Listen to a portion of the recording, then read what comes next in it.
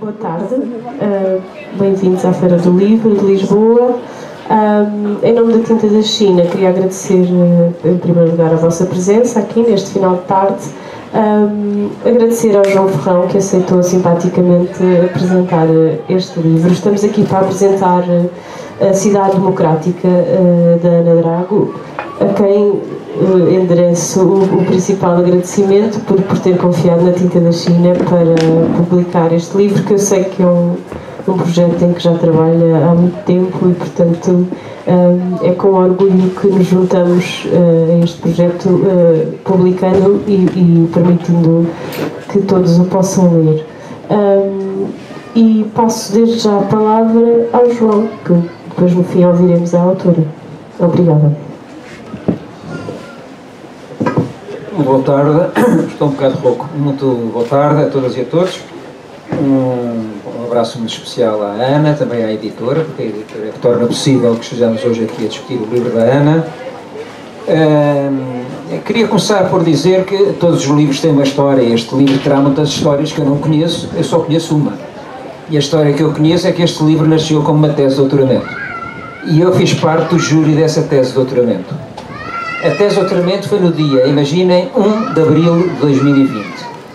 Esta é uma data terrível. 1 de abril, não sabemos se a candidata ou os elementos do júri estavam verdadeiramente a falar a verdade ou não. Agora confirma-se no livro e confirma-se também daquilo que eu tinha lido. Mas 1 de abril de 2020 foi 15 dias depois do início do confinamento. Portanto, vocês não podem imaginar, a Ana deve se lembrar com certeza, entramos escoltados no Isqueté, o Isqueté é completamente fechado, a Ana lá ao fundo, eu mal a via, ela é muito grande, mas, mas não era por isso, muito lá ao fundo de um anfiteatro, eu dentro de uma sala que eu não me lembro se era uma sala de som ou uma sala de tradução, uma espécie de aquário, e as provas uh, correram muito bem. Eu disse-me na altura, eu lembro-me que na altura ele disse várias coisas, mas lembro duas. Uma, que era uh, claramente uma das melhores teses de doutoramento que eu tinha lido até à altura, uh, e é verdade, confirmo isso. É um livro iluminado e luminoso, e eu acho que isso é interessante. É um livro iluminado pela forma como ela olha para as questões que trata, e é um filme luminoso porque acende luzes para muitos debates. A partir deste livro nós podemos ter debates sobre assuntos muito diferentes, relacionados entre si, mas mas abre muitas, uh, muitas vias. E depois lembro-me também de dizer que, uh, dada a qualidade da dissertação, da tese, a tese devia ser publicada, mas com menos, bastante páginas. Acontece que a tese tem 300 páginas e o livro tem 370. Claro que as páginas são mais pequenas, etc., mas isso vê-se perfeitamente o que a Ana ligou àquilo que eu lhe disse durante as provas. Bom, sobre o que é este livro? O tema desde logo nos indica, é um livro sobre cidade e democracia, talvez seja mais correto dizer sobre questão urbana e regimes democráticos, é sobre isso que é o livro, sobre esta articulação entre questão urbana e regimes democráticos, vista não exclusivamente, mas em grande parte, a questão da habitação, ou se quisermos, dos déficits de políticas públicas em relação à habitação. Eu vou tentar uh, sistematizar aquilo que me parece, na minha leitura, o esqueleto do, do, do o esqueleto substantivo da tese. E vou estruturar isto em, em sete pontos, porque eu acho que depois todo o resto alimenta estes sete pontos. Em primeiro lugar, a tese tem uma tese. O que é estranho, porque a maior parte das teses não tem tese. Curioso. Esta tem. A tese tem uma tese e a tese diz o seguinte: o regime democrático português e a sua condição urbana constituíram-se mutuamente. Esta é uma tese que está subjacente a tudo o que é dito. É evidente que se identifica que o grande salto da urbanização e o salto democrático em Portugal coexistiram no tempo, mas não se trata de apenas de uma coexistência no tempo, trata sobretudo do modo como questão urbana e, uh, e regime democrático se articularam no período, que é o período que é analisado, que vai desde o 25 de abril de 74 até 1986, que é a data em que nós entramos para uh, a então Comunidade Económica Europeia. esta é uma tese, é uma tese que está subjacente, ela não é formulada assim desta forma depois ao longo do livro, mas está sempre presente, e logo aqui podia parar para uma enorme discussão, porque me parece que esta tese é um pouco urbanocêntrica e Lisboa-cêntrica. Ou seja, não sei se podemos discutir o país com esta tese, podemos discutir com certeza a área metropolitana de Lisboa com esta tese. Em segundo lugar, e com base nesta tese, a Ana define. Sou eu que estou a arrumar isto desta forma, não sei se ela se revê, mas. Uh, com base nesta tese, a Ana define um objetivo. Um objetivo, no fundo, é aquilo que ela vai fazer.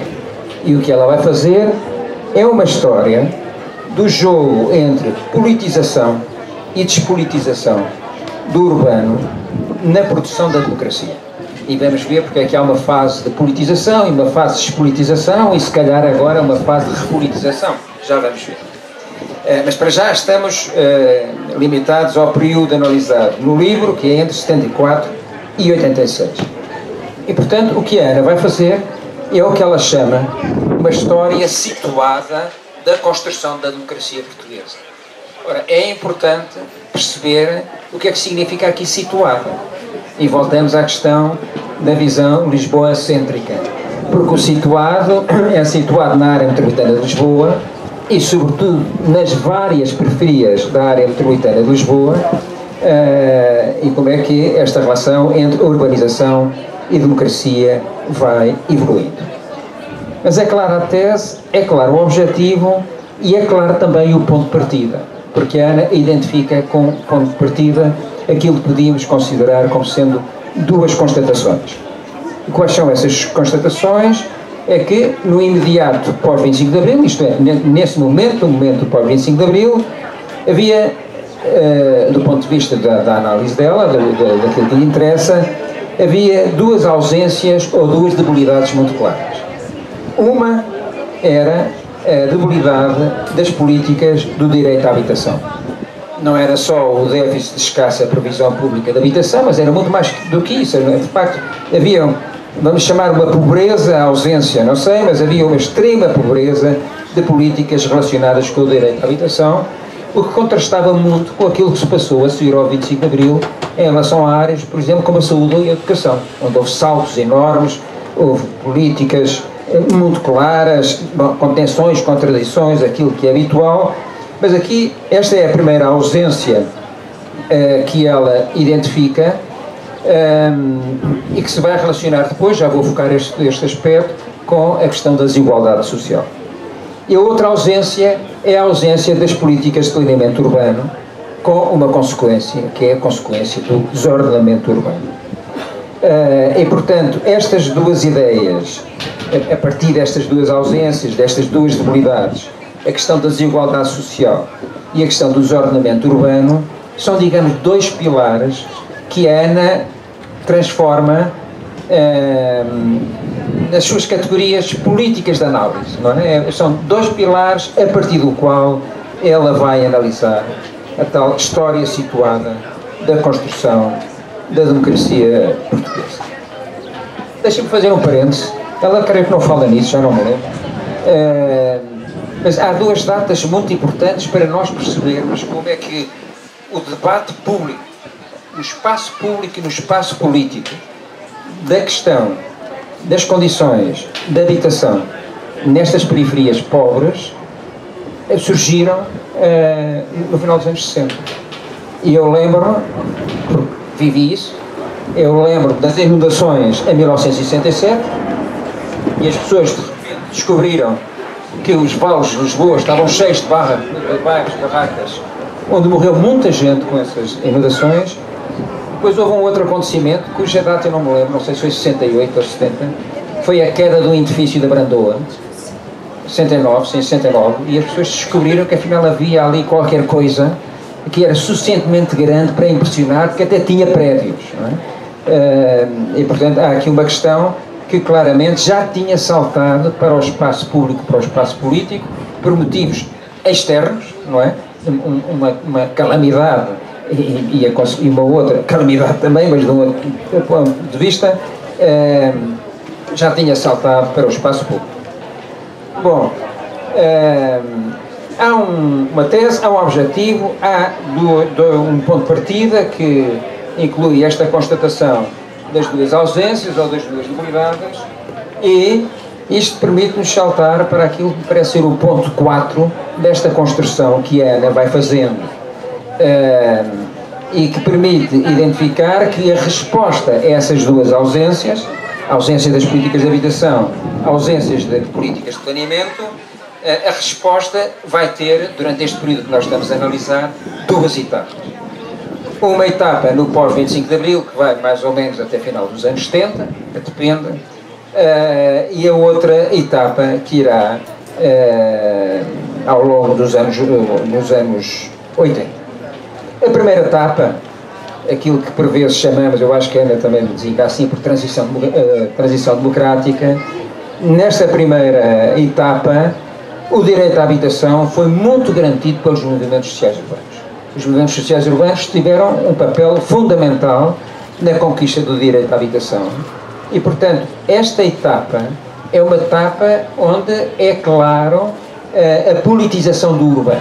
A questão do urbano é politizada a partir do papel dos movimentos sociais urbanos e tudo aquilo que se associa às conquistas, aos atores, às dinâmicas que foram desenvolvidas na altura, e esta visão levou a que durante esta fase a questão urbana fosse encarada como um problema de dupla uh, desigualdade. Desigualdade social e desigualdade política. Era isso que estava em causa e a resposta a, essa, a esse problema uh, baseou-se na participação popular, por alguma razão se falava tanto em poder popular na altura, na participação popular e em alguma, talvez mais tentativa do que efetiva, efetiva mas, mas alguma redistribuição do ponto de vista uh, em aspectos relacionados com a estrutura da propriedade e do mercado eh, imobiliário e fundiário. Ocupações, eh, auto-organizações, em nome da legitimidade revolucionária e não em nome da legalidade, digamos, institucional. E durante este processo, como sabemos bem, emergiu com toda a força o programa SAL, que aparece sempre como uma espécie de ícone daquilo que foi a intervenção desta primeira fase, desta fase da, da, da politização da questão urbana, uh, enfim, que eu não vou aqui desenvolver, há muitas publicações sobre o sal, a Ana também analisa em muito pormenor a questão do sal de vários pontos de vista, quer do ponto de vista dos arquivos, quer do ponto de vista dos estudos de caso, etc. Eh, mas esta é a primeira fase, é a fase da politização da questão urbana, durante a, a, a o período de transição democrática, democrática, que vai até ao final dos anos 70. Mas a partir dos anos 80 e até à entrada de Portugal na eh, Comunidade Económica Europeia, nós entramos naquilo que se chama normalização, entre aspas, normalização democrática. Isto é, eh, os movimentos sociais urbanos deixam de ter qualquer peso relevante, nós assistimos à irrupção uh, que na verdade tinha sido suspensa durante um tempo, a irrupção da liberalização do mercado de habitação e de solos. É? Eh, e, portanto, entramos numa fase de despolitização do urbano, com a ausência do conflito político. E o que é interessante é este, este contraste que a Ana faz, em que ela uh, defende e demonstra, demonstra, talvez, eu acho que sim, em parte, eh, e demonstra que ehm, enquanto durante a fase de transição demográfica, de politização do urbano, a questão urbana era vista como um problema de desigualdade, nesta segunda fase, na fase de normalização democrática, na fase de despolitização do urbano, questão urbana vai ser vista como um problema de desordenamento urbano. E, portanto, a resposta não passava já por movimentos sociais, a resposta passava por legislação dos instrumentos de gestão territorial, por fazer planos, por intervir, etc. Portanto, entramos numa fase completamente diferente que nada tem a ver com a fase anterior. Isto permite-me então saltar para o ponto 5, que é um, aquilo que a Ana analisa como um, o significado desta reconceptualização da questão urbana com desigualdade na primeira fase e com ordenamento na segunda fase. Isto é, passamos para uma perspectiva completamente diferente e esta reconceptualização do que se entende por questão urbana uh, tem, evidentemente, implicações do ponto de vista dos seus efeitos, mas também traduz alterações contextuais do ponto de vista de natureza estrutural. E isso é importante. Do ponto de vista dos efeitos, hum, eu no fundo já o disse, mas a Ana desenvolve isso muito bem, de forma convincente. Isto é, o, o, tendo como consequência esta reconceptualização do que é verdadeiramente ou do que é considerada questão urbana, o urbano deixa de ser um espaço de participação, um espaço de redistribuição, um espaço de conflito político e, como ela diz, a desigualdade social é acomodada sem conflito. E, portanto, aparentemente, as questões que estavam aqui em causa, relacionadas com o urbano, eh, seriam resolvidas, digamos, não era apenas tecnicamente, vamos ser francos, mas com uma componente técnica muito grande, isto é, através das, das intervenções baseadas em diferentes formas de planeamento. Mas também é importante perceber que esta, esta alteração uh, implicou e traduziu, porque há aqui um efeito dialético, uh, alterações que também nós conhecemos bem. A emergência do modelo de democracia representativa baseada em partidos, em detrimento da, da ideia de democracia popular, de participação popular, a emergência do Estado regulador em detrimento do Estado interventivo e redistribuidor, e a liberalização das políticas de habitação e de cidade, de cidade por acaso não sei, não havia, por simplesmente, mas a liberalização das políticas de habitação eh, contra a intervenção pública nos mercados imobiliário e fundiário, que, apesar de limitado, apesar de tudo, fazia parte dos encargos das prioridades políticas. Eh, e isso é importante. Estava inscrito no, no, no, no neste debate político. Bom, isto leva-me então para o sexto ponto, a pesquisa empírica. Uh, a pesquisa empírica é muito interessante, porque ela é evidentemente iluminada por todo este enquadramento, que é um enquadramento muito vasto, muito amplo, muito rico. Uh, o estudo incide sobre uh, várias áreas periféricas da área metropolitana de Lisboa, ou seja, incide sobre a área metropolitana de Lisboa, e depois, sobretudo, em relação aos estudos de caso, tem estudos de caso de natureza diferente, periferias de tempo diferentes, com origens diferentes, mas todas elas, entre aspas, marginais, um, e é isso que ela vai analisar, tendo como lente aquilo que eu referi anteriormente. E, digamos que a grande conclusão que ela sublinha, e eu acho que é interessante, porque ela decorre deste confronto entre a sua abordagem teórica e a pesquisa empírica que fez, a grande descoberta é, sim, há um problema de carência habitacional que nunca foi resolvido. Sim, há um problema de desordenamento do território que nunca foi resolvido.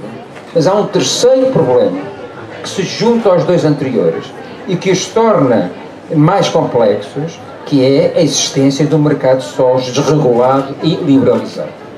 E esse mercado de solos, outro passo que é dado, com base nos estudos de caso, essa intervenção nos mercados de solos desregulado e liberalizado não pode ser feita de forma eficiente através dos instrumentos de planeamento que depois são muito utilizados a nível do poder autárquico. Portanto, digamos que chegamos aqui a uma espécie de beco, não é? Uh, isto é, identificamos as duas fases, a fase de politização, a fase de despolitização. Uh, a análise empírica permite-nos ir mais longe e somar à carência habitacional e ao ordenamento do ordenamento do território esta ideia de que uh, há um elemento central que condiciona qualquer tipo de mudança, de transformação, e ele tem a ver com o mercado imobiliário, com o mercado fundiário, e as autarquias, que no fundo têm, não têm exclusivo, mas têm o grande protagonismo do ponto de vista do planeamento a nível local, não, não, não intervêm nessa área. Aliás, um parênteses, agora dava outra discussão. A Ana não analisou isso e não tinha que analisar, já, já, já escreveu 370 páginas. Na verdade, a habitação nunca esteve integrada nos, nos instrumentos de gestão territorial, que é uma coisa que faz pensar. Nunca esteve. Nunca esteve. Uh, portanto, aqui há uma parte da análise que, sendo verdade eu diria que o problema é mais grave porque nunca houve uma inscrição explícita da questão da habitação nos instrumentos de gestão territorial. E isso não deixa de fazer pensar. Um, isto leva-me então ao sétimo e último ponto, não quero falar demasiado, ao sétimo e último ponto, ao penúltimo, pois queria fazer um comentário. Ao sétimo e último ponto, que é a Ana levanta, e bem, uh, uma questão no final, que é no processo, no, no, período que ela analisou, há de facto este período de politização do urbano, eh, seguido de um, de um período de despolitização do urbano, isso é muito bem analisado do ponto de vista teórico e do ponto de vista prático, e o que ela chama a atenção nas últimas páginas é que hoje parece estarmos a assistir a um novo período de repolitização uh, da questão urbana. Por muitas razões, e por todas as razões que nós conhecemos empiricamente, e, e por aquilo que vamos vendo, a crescente finalização do mercado imobiliário, a gentrificação, a questão da liberalização das rendas, a questão dos despejos, enfim, muitas razões eh, estão a convergir para que para esta repolitização recente da questão urbana. Mas a Ana diz uma coisa também muito curiosa que eu acho aqui é que era um grande debate que é esta repolitização, ao contrário da politização da transição democrática, é uma repolitização que está essencialmente centrada nesta relação questão urbana, regime democrático, nas classes médias. E então é outra coisa, é outra coisa que estamos a discutir. É uma repolitização que se dá num registro completamente diferente, que nada tem a ver, bom, o contexto é diferente, tudo é diferente, mas que nada tem a ver com o espírito do poder popular, digamos, e com os grupos sociais envolvidos nessas dinâmicas do poder popular, é uma repolitização muito interessante, porque se é verdade que questão urbana e democracia voltam de novo a ganhar centralidade analítica, centralidade política, centralidade mediática, também é verdade que essa questão está agora centrada nas classes médias ou nessa coisa vaga chamada jovens. E, portanto, é, é, uma repolitização de tipo completamente diferente. Acho que vale a pena pensar, escrever, debater sobre eh, que repolitização estamos, estamos hoje a, discutir. Eu tenho um minuto, dois. Uh, dois. Que é. Eu gostava de fazer agora um, um, um comentário rápido, uh, que é a propósito do livro, já não é sobre o livro, mas é a propósito do livro, e também não é para debater aqui, porque aqui infelizmente não há tempo para debater, não é? Mas e é uma perspectiva do, do digamos do lado do planeamento. Para abrir talvez eh, uma visão mais eh, aberta por um lado e espero mais esperançosa pelo outro. Eh, o que é que eu queria dizer? Recordar várias coisas rápidas. Primeiro nos anos 70 houve um movimento muito forte nos Estados Unidos que tinha um, um, um ideólogo incontestável que era o John Friedman e que na altura se chamou planeamento radical e que ele vai chamar a atenção para uma coisa que ele chamou até uma, uma, uma, uma, uma ruptura ontológica e epistemológica, ele vai dizer uma coisa que é, não, o planeamento tem duas componentes, tem uma componente institucionalizada, através de planos, etc., mas tem uma outra componente, que é a componente que se baseia em iniciativas que nascem das comunidades locais. Isto também é planeamento. E, portanto, se nós restringirmos o planeamento à sua componente formal e institucional, estamos a esquecer que a outra existe e é igualmente importante. Tem é vias diferentes, atores diferentes.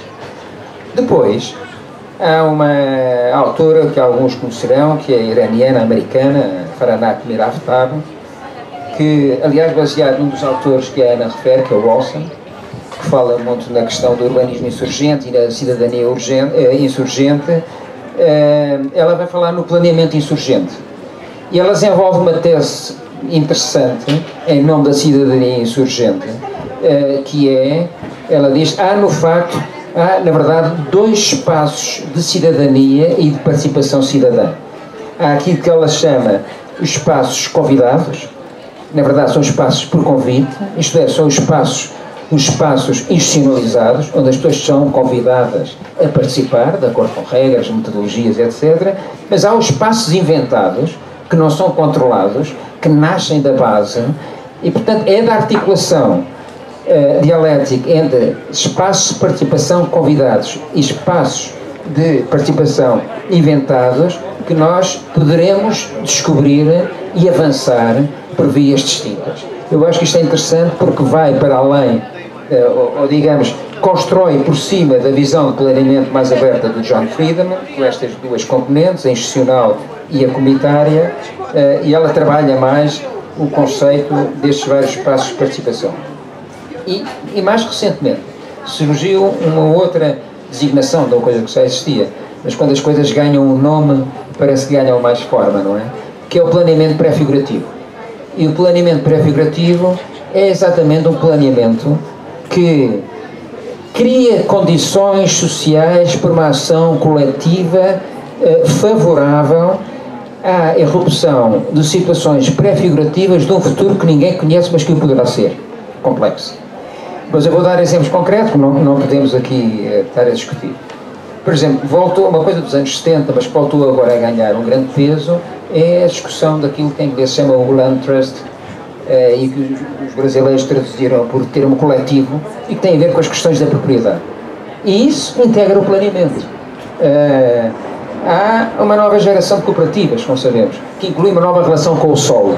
E isso é planeamento. Há um grande debate sobre os comuns, sobre os vários tipos de comuns. E isso inclui planeamento. Portanto, o que eu gostaria de dizer para finalizar é, como eu disse no início, este livro é um livro iluminado e luminoso. Uh, o iluminado eu já sei, porque eu li por duas vezes, uh, e portanto já sei que é iluminado. O luminoso depende de quem olha para ele. E, portanto, isto é um, um, um repto, uh, uma sugestão para que o comprem, obviamente, para que o leiam, porque o livro espero que esteja também disponível nas bibliotecas, porque nós não podemos desperdiçar livros luminosos um livro luminoso não é um livro prescritivo. Este livro não é um livro prescritivo, felizmente. Não nos diz o que é que devemos fazer. Mas ilumina muitas vias, muitos caminhos que podem ser construídos coletivamente eh, num sentido mais esperançoso. Eh, por isso eu juntei estes três elementos, o chamado plano radical, que era dos anos 70, o planeamento insurgente, o planeamento prefigurativo, isto é, hoje a discussão do planeamento é completamente diferente e à luz deste novo conceito de planeamento, alguns destes conceitos, alguns destes nexos teriam que ser reavaliados. Mas eles não existiam na altura, portanto, a realidade foi o que foi. É isso que eu queria dizer. Agradeço mais uma vez à editora, porque permite que o livro exista fisicamente e seja distribuído, que estas ideias viajem e sejam incorporadas, discutidas, apreendidas.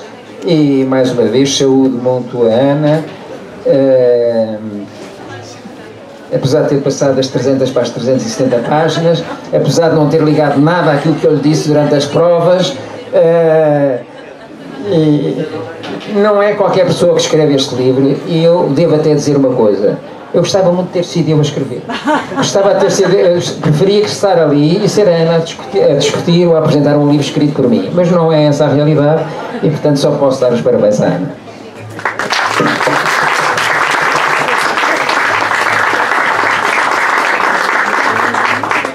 Agora, Ana Drago, para também se defender desta acusação sobre as páginas, não é? Pelo menos.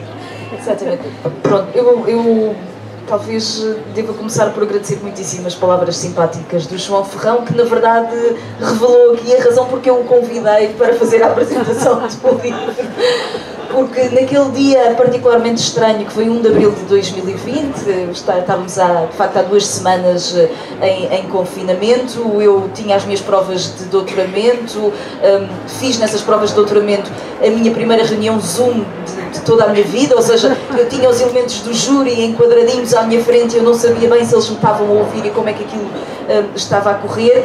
E nesse contexto em que eu estava muitíssimo nervosa, praticamente não tinha dormido, o João Ferrão tinha dito que, gostava da tese. e disse uma segunda coisa, disse a tal segunda coisa que é isto cortando aqui um volume significativo de, de páginas, uh, talvez valha a pena uh, publicá-lo. E eu cumpri, ao contrário do, do, que o João, João acha. Eu, eu voltei a revisitar uh, a tese, tentei cortar de forma significativa uh, aquilo que era a minha tendência para ser muitíssimo repetitiva e uma, um estilo de escrita que se transformava numa coisa particularmente fastidiosa e quase gongórica. Tive nessa análise, enfim, uma ajuda preciosa que foi a ajuda do meu pai, que serviu de provedor de leitor e disse: Por favor, não castigues as pessoas. e eu fiz esse esforço e mesmo assim ficaram as tais 370 páginas, mas muita coisa foi cortada. Um, a única coisa que me parece importante é dizer, eh, enfim, duas coisas. A primeira é que eh, este livro surgiu de uma espécie de momento em que eu viajei pela periferia da área metropolitana de Lisboa e sendo, sendo eu lisboeta e conhecendo essas, eh, essas periferias urbanas, houve um fim de semana em que eu tive que percorrer uh, umas ruas em Meio Martins.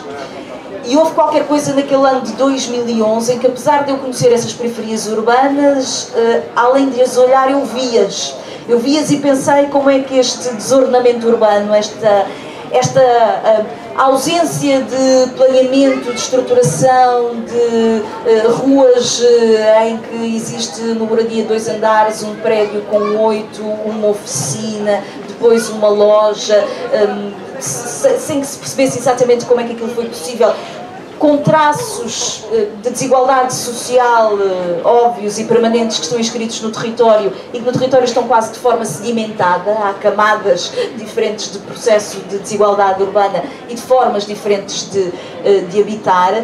Houve um momento em que eu vi aquilo e coloquei uma questão que eu acho que toda a gente coloca no início de um doutoramento, que é, coloca-se uma questão interessante, que é Uh, se em 1974 Portugal escolheu construir uma democracia, o que é que isso significava para a sua vivência uh, urbana?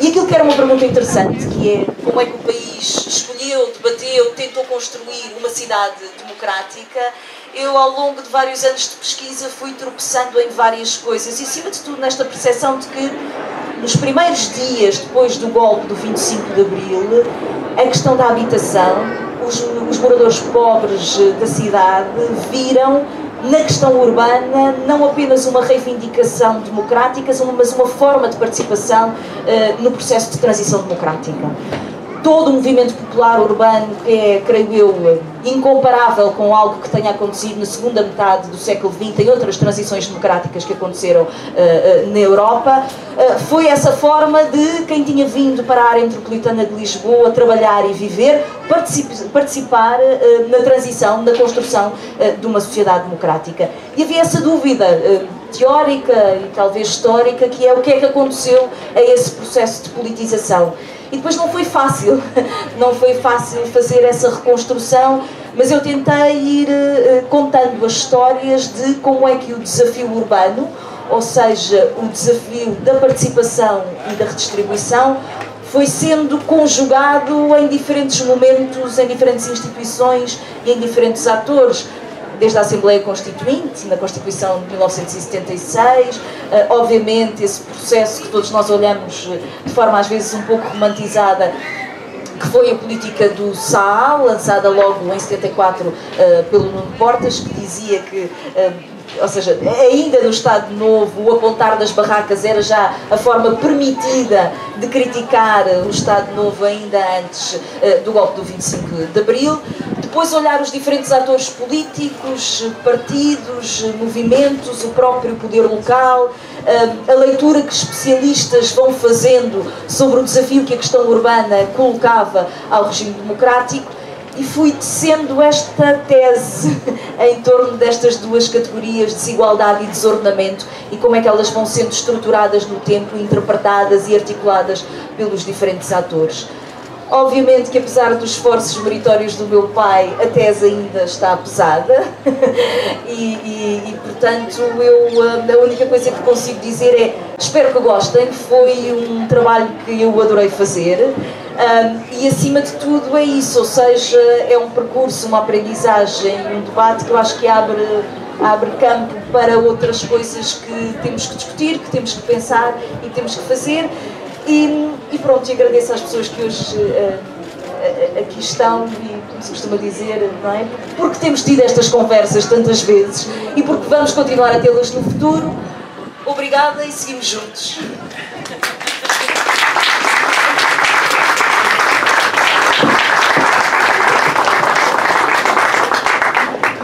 Como ainda temos 10 minutos, eu se calhar abria ao público queira, alguém que queira fazer uma pergunta, um comentário. Uh, estou certa que a Ana uh, não se importará de dialogar. Tem? Ah,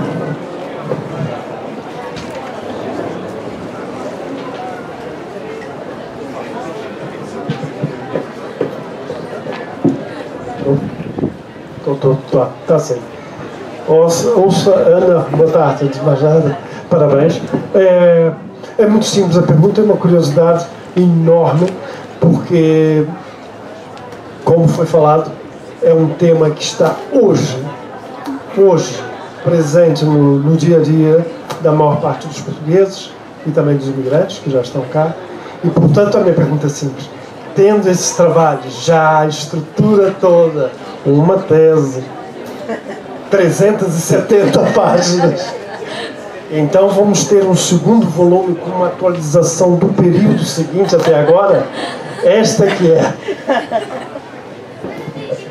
É, é uma pergunta, é uma pergunta importante. Eu acho que em parte esse, esse trabalho já foi sendo feito. Um, ou seja, aquilo que acontece, talvez mais a partir dos anos 90, com o processo de financiarização da habitação, em parte foi sendo feito por algumas pessoas que estão aqui, até o Nuno Serra, que, que aqui está, uh, o trabalho da Ana Cordeiro Santos.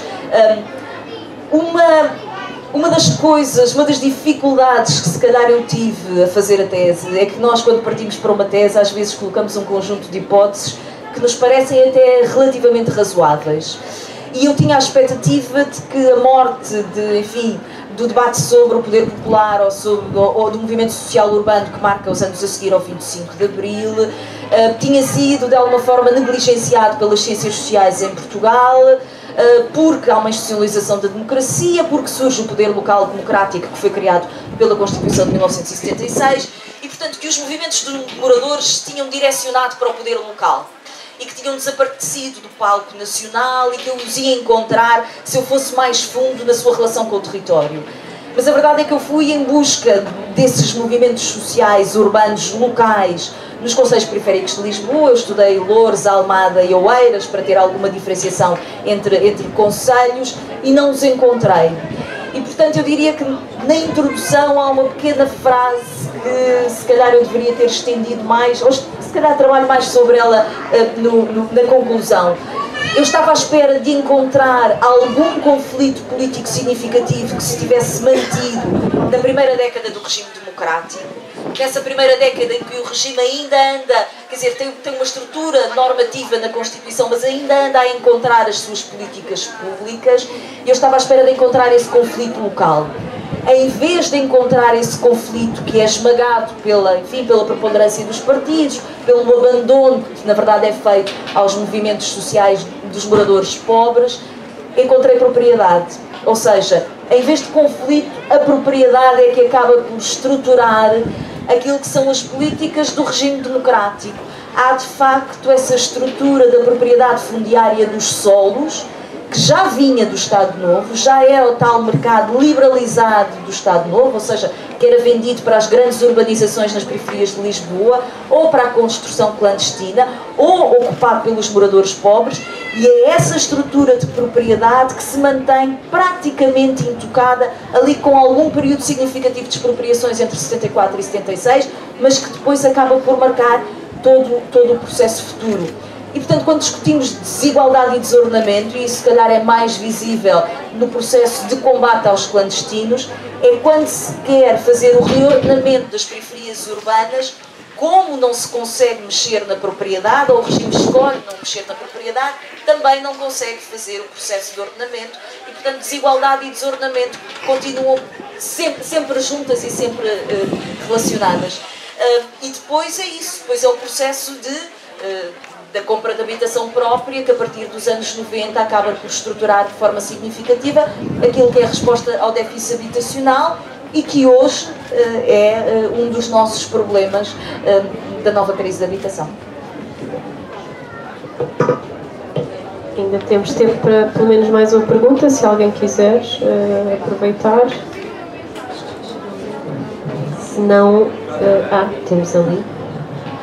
Muito obrigado. Um, em, relação com este último ponto que foi levantado, eu, eu, tinha uma questão que se prende com o seguinte: como a Ana referiu, uh, dois dos conceitos que foram estudados foi Loures e Almada, e de alguma forma, se se consideras que a ausência desse movimento social ao nível local que pensaste uh, vir a encontrar na tua fase de investigação e depois não encontraste, se essa ausência, porque enfim falamos de conselhos que foram de alguma forma geridos autarquicamente por um, por um partido que ideologicamente disputaria a propriedade, exatamente a propriedade fundiária, a propriedade educacional.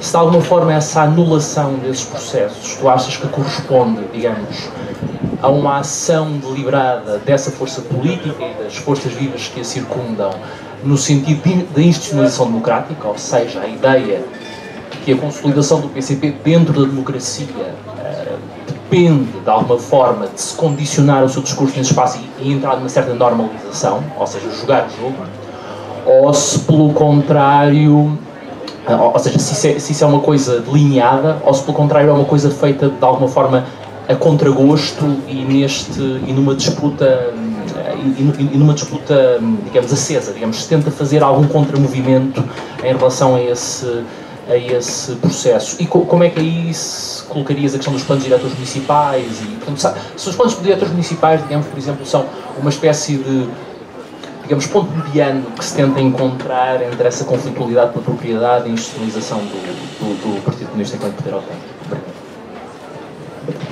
essa questão eu acho que é uma questão interessante, não é? Porque a cintura vermelha de Lisboa, é, enfim, é uma, uma permanência na nossa história democrática que durou até muito, muito recentemente e, portanto, de alguma forma, esse, esse voto comunista nas periferias urbanas de Lisboa não são apenas uma opção de classe, mas é também uma determinada estrutura e uma forma de viver o território dessas periferias. O PCP, eh, eu, eu eu digo-lhe que no capítulo que eu tenho dedicado à governação autárquica do PCP, eu digo que o PCP politiza de forma muito clara a desigualdade urbana e, portanto, o PCP tem sempre uma leitura de intervenção, que, que o Estado tenha os instrumentos para intervir nos solos urbanos e tem essa leitura de que quem controla os solos urbanos controla, na verdade, o processo urbano. E, portanto, é sempre a voz que está a denunciar aquilo que são as insuficiências da resposta democrática ao déficit uh, habitacional e sempre clamando para que haja uma maior capacidade do Estado de intervir nessa mesma estrutura de propriedade, mas tem em relação às formas mais basistas de participação popular alguma desconfiança. E, portanto, a leitura que faz sobre o que restava do movimento de moradores e das comissões de moradores é sempre a ideia de que as comissões de moradores são bem-vindas quando elas contribuem, enfim, com a sua energia popular, por exemplo, para a construção de pequenas infraestruturas, mas delegando no fundamental a forma de participação política ao partido que representa as classes populares dentro do regime, que é uh, o PCP, Uh, e, e, portanto, limitando o que é que é essa lógica mais participativa. Apesar de tudo, eu teria a expectativa de que nos conselhos governados pelo PCP houvesse estratégias de planeamento urbano, nomeadamente quando aparece uh, a legislação sobre o PDE, mais uh, participadas e onde eu estudei o PCP, Louros é diferente porque Louros, o PCP estava em minoria numa Câmara que tinha uma maioria de, de, de vereadores do PS uh, e, e, do PSD, portanto viveu sempre num relativo aperto, uh, ficava à frente mas com uma maioria relativa, mas mesmo em Almada, em que tinha uma maioria confortável, esse processo de planeamento participado verdadeiramente não acontece. Mas é verdade que lançou mais cedo o PCP os instrumentos de planeamento. O plano da moita, que aparece ainda durante este, este período, é feito numa autarquia do PCP. E uh, eu não conheço bem, mas creio que o processo de planeamento em Évora é quase um processo uh, uh, exemplar de participação democrática de, dos cidadãos, mas na área metropolitana não aconteceu. Mas o PCP faz a tal coisa, não é? Que é politiza o urbano enquanto espaço de desigualdade, mas de alguma forma despolitizo enquanto espaço de participação uh, direta no sentido de, uh, enfim, defender uh, um modelo institucional de participação dentro do quadro das instituições. Muito obrigada, Ana. Não te, não te vamos.